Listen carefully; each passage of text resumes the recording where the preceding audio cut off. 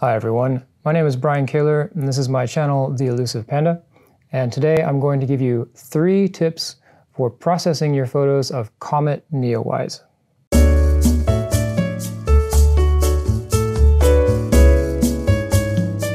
You may have seen in the news that Comet Neowise has been approaching the Earth.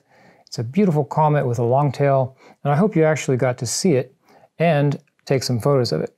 So I have some photos and I'm going to give you some really easy ways to make those photos look pretty good. I'll have a link down below of the equipment that I use to take these photos. That's not the subject of the video today, but in case you're curious, it'll be there. And also, the photo that I finish here will be available as a wallpaper on my DeviantArt profile. The link to that is below. Okay, what are the three easy ways to make your photo of a comet or an astrophotography photo better, the dehaze tool in Lightroom or in Camera Raw, optical and sensor correction, as in reducing the noise and then reducing the chromatic aberration, and last, throwing a lookup table on your image can really create some spectacular colors and contrast. So let's do each of those things with the image that I took a couple of nights ago. Here's my camera raw file. It doesn't have to be a raw file. If you have a JPG, you can actually open up camera raw from inside Photoshop. Here's our image, and I'm just going to make a few adjustments really quick. For example, it's a little bit on the warm side, so I'm going to cool it down. Oh, get some nice blues in the skies too about here.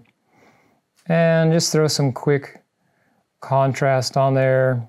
I know the highlights of the comet are going to blow out pretty fast, so I'll reduce highlights. And then the real tool here, the important tool, is going to be the dehaze slider. Dehaze will dramatically improve almost any astrophotography photo right off the bat. This used to be a time-consuming method, but now that dehaze is here, we can do it really fast. So you can see the dehaze brought out the clouds, brought out the stars.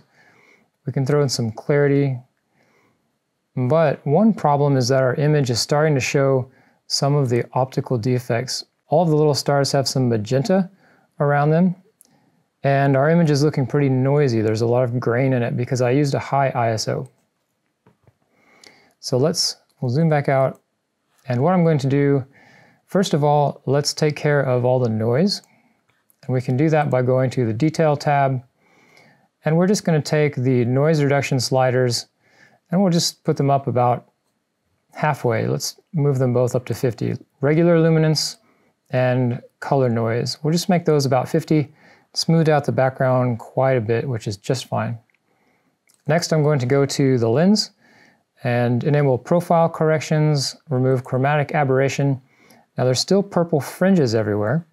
And to do that, we'll use the built-in tool for defringing. And I'm going to crank up this purple fringing and then I'm going to shift that correction towards red a little bit. And right away, that's going to eliminate a lot of the funky little fringing around the stars. So if I turn off the highlight alert, you can see now the stars are far less magenta than before. Okay, let's zoom back out. So we've got something really good to work with right here.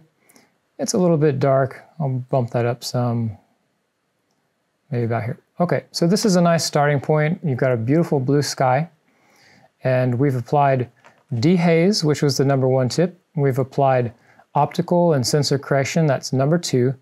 But what, what can we do to take this up another notch, to really make this stand out? The sunset is beautiful, the sky is beautiful, but we can give it additional character. Let's open the image. And now a very, very easy way to add some character to your images is to add a lookup table or 3D LUT file. Now there are some LUTs built into Photoshop. You can download them from the internet for free. And in this case, let's just look through a couple of these. They give the photo a different character like uh, turning the blues into purplish colors, increasing contrast, or giving it a certain look. You might think of lookup tables as basically like filters. So I looked through all these and there's one that I thought was really good. I'm going to go to that now. That one was the Reeve 38. I really like the way this one looks right here. We've got this dark, beautiful, starry sky.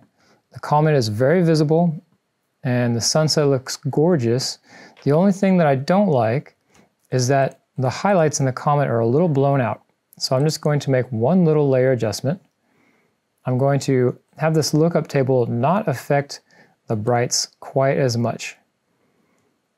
Now, if you look at how that's affected the comet, it goes from being pure white in the middle to being a little bit more textured. We, we saved some of that texture inside the body of the comet by not affecting the brights as much with the lookup table.